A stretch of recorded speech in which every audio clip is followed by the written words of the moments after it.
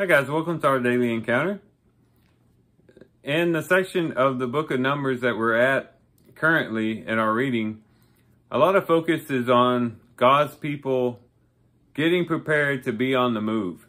And a big part of that is in consecrating these Levites and getting them ready for the task that they are about to undertake. Uh, there's also preparation for the carts and the oxen and the different things that would be used by the Levites to carry the ark of, uh, or I'm sorry, the, the, the tabernacle as it moved among the people, before the people as they moved through the land. And in basically the middle of this whole discussion, and is this idea of the lampstand. It almost seems out of place. If you're reading through the book of Numbers, uh, he's talking about these offerings in chapter 7 uh, that each of the leaders of the tribes were bringing to the Lord. Um, chapter 8 is about the consecration of the Levites uh, for the work of the Lord in connection to the tabernacle. But right there at the beginning of chapter 8, you just have this uh, seemingly random instruction or, or explanation about the lampstand. Uh, it says in verse 2, Speak to Aaron and say to him, When you mount the lamps, the seven lamps will give light in front of the lampstand. And Aaron therefore did so. He mounted its lamps in the front of the lampstand, just as the Lord had commanded Moses. And then it gives a description of the lampstand. And I don't think this is really by accident. I don't think this is as random as perhaps initially it might seem. This idea of the light shining in front of the lampstand uh, really can relate to what the children of Israel would need as they traveled through the wilderness. And that is, they needed a light for their path. They needed direction as they traveled through the wilderness and as they made their way up to the promised land. And when we think about Psalm 119 and, you know, verses such as that, that say, you know, thy word is a lamp unto my feet and a light unto my path. Uh, it kind of reflects a little bit this idea of the lampstand. The light would shine in front of the lampstand.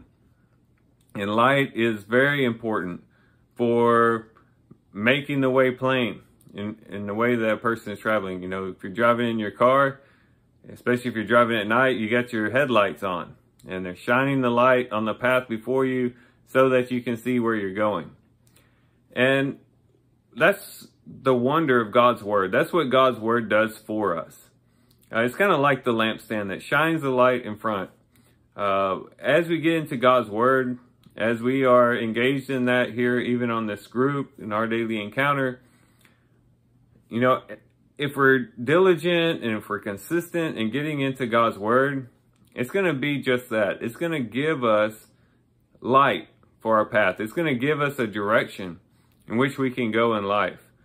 Um, oftentimes we're challenged in life with, you know, which way should I go? Which way should I turn?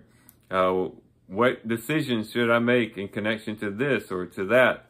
Well, God's word helps us in that and it shines some light on our lives and gives us some direction and, and helps us to know which way we should go.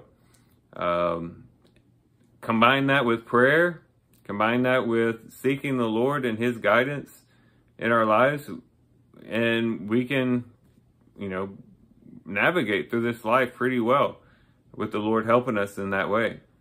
And so as we think about these lampstands, we think about the fact that these Israelites were about to uh, take off on a journey, an epic journey, if you will, uh, to go into the promised land. And we think about ourselves as we too are seeking a promised land, as we are seeking the, the land that God has prepared for us, uh, we can really appreciate, I think, God's Word and what it can do for our lives.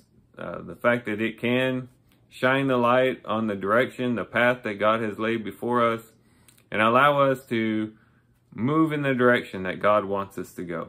So let's be thankful for God's Word today and let's get into it. Let's get direction from it. Let's let God's word really shine in our hearts and shine in our lives so that we can live a life more pleasing to him.